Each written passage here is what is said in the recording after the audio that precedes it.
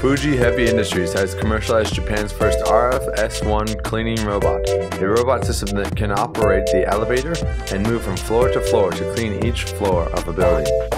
Until now, most office buildings were cleaned at night and often incurred heavy expenses. This cleaning robot automatically cleans every floor and operates the elevator to move from floor to floor. 従来のロボットと比べまして、えー、耐久性があの素晴らしく高いというところが特徴です。 えー、もうすでに導入して7年間使っていらっしゃるユーザーさんがいますけれども、えー、故障、えー、部品の交換はしておりません。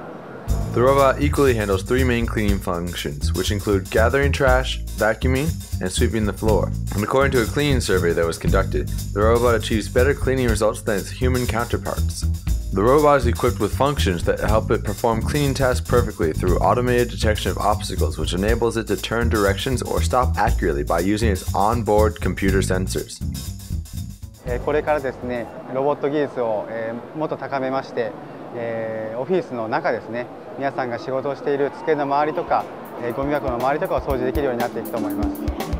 If introducing this robot in a newly constructed building, an elevator communication function should be installed in the elevators to enable communication between the robot and the elevator. However, the robot can also be used in existing buildings if a communication unit is connected to the elevator system. This will enable fully automated nighttime cleaning.